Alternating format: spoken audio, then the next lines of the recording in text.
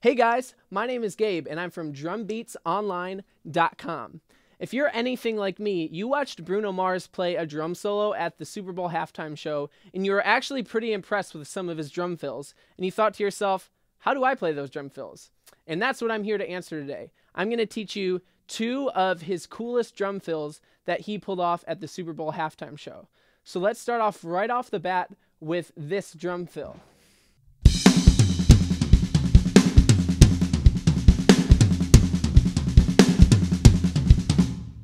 So the sticking pattern for this fill is pretty repetitive.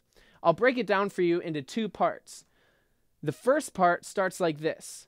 You got your right hand on the crash and your left hand on the snare.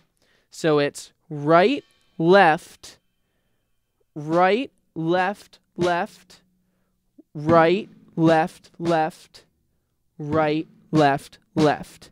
And with your right hand, you're really going to accent all of those hits. And with your left hand, you're going to try to keep them quiet, uh, uh, quiet ghost notes on the snare drum. So together slowly, it would sound like this.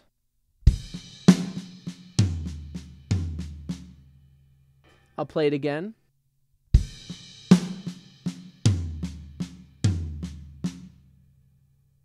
The second part of the fill is a pretty similar sticking pattern you come to the floor tom with your right hand. So it's right, left, left, and then right, left. So your left hand is always on that snare drum. Together, that second part is played like this. I'll play it again. So I'll play it all together for you real slow.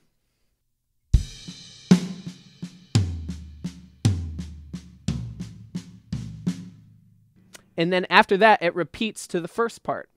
Um, so you just repeat that pattern three times. And under all of that, you're going to keep a steady kick drum on all the quarter notes. So that would sound like this.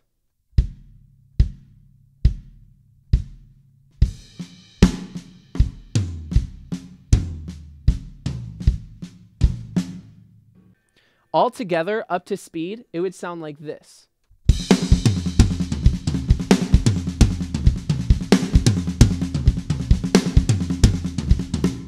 So that is the first drum fill. It's a pretty cool one, but it's pretty technical. You got to watch your dynamics. You want your right arm to really be hitting those toms and that snare hard, but your left hand, you want those quiet ghost notes on the snare drum. The second fill sounds like this.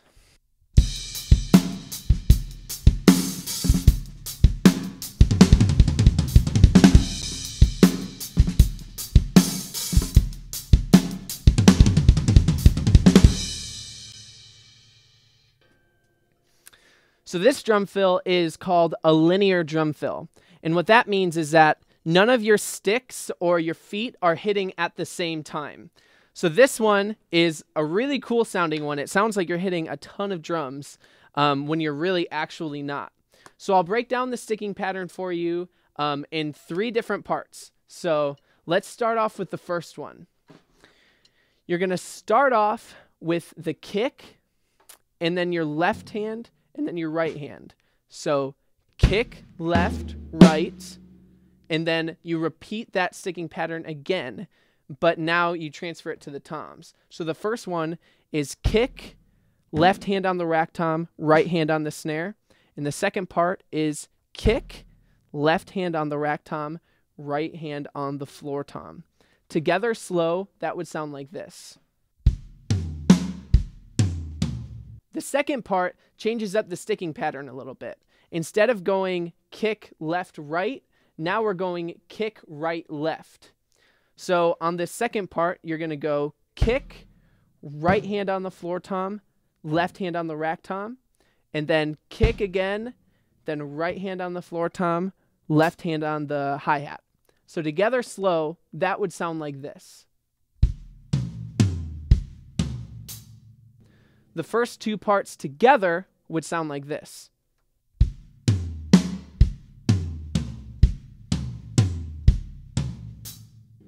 So you're going to notice that kick is going to be the first note for every single part. It's always going to be kick left right or kick right left. So the third part is actually the kick right left pattern again. Now we go kick, right hand on the floor tom, left hand on the rack tom again, and then kick, right hand on the snare, and left hand on the snare.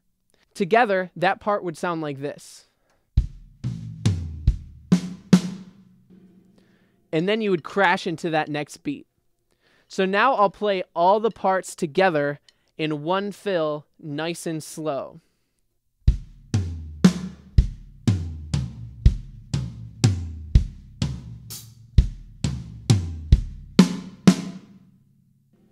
Play that one more time.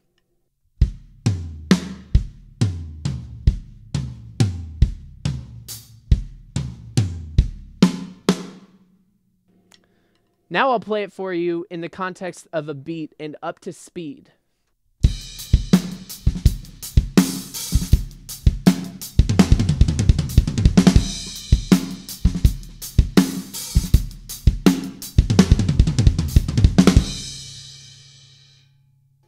So that's how you play two of the coolest drum fills from Bruno Mars' drum solo. I really hope that you guys learned a lot from it, and I hope that you can start crafting some of your own drum solos. Um, please stop by drumbeatsonline.com for more drum lessons like this, and uh, I'll talk to you guys later. See ya.